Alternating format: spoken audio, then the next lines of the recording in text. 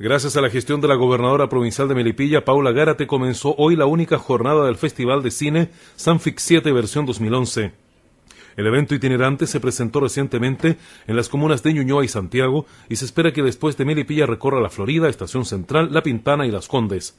Se exhibieron películas y cortometrajes como Viaje al Big Bang, El niño que quería ser un oso, Los cocodrilos y el aclamado film español Yo también.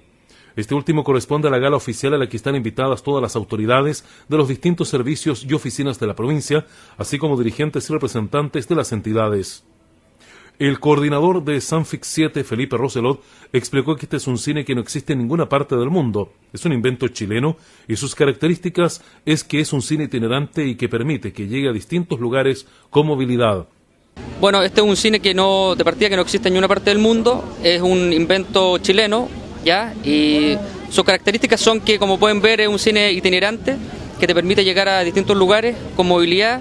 Eh, tiene una, capacidad para 132 personas, muy bien sentadas, y te permite proyectar películas tanto en dos dimensiones como en tres dimensiones, que es como la novedad que, nosotros estamos eh, dando en esta oportunidad como Corpartes.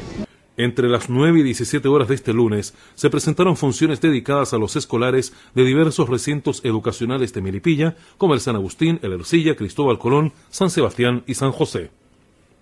Se va a exhibir eh, Viaje al Big Bang, que es una película en 3D, que es la primera película 3D que se hace en Chile. Eh, se está dando El niño que quería ser eh, oso, luego se está dando Los cocodrilos y por último Yo también, que son puros estrenos de cine arte, tanto alemana como española y que han sido seleccionadas por el, comité directivo de, mm, de, Sanfic en sí. Bueno, y este es un proyecto que cuenta con el, gracias al aporte de Cor Parte, que es una fundación privada, ¿no es cierto? Eh, eh, se, ha, hecho posible que estemos aquí hoy día de manera gratis. vamos a estar en siete comunas en siete días, vale decir un día por comuna, y gracias a un esfuerzo particular y gracias a la gobernadora que se ha hecho presente, como ustedes se pueden dar cuenta, es que estamos aquí y llevando el cine a los niños que son los que más lo, lo disfrutan.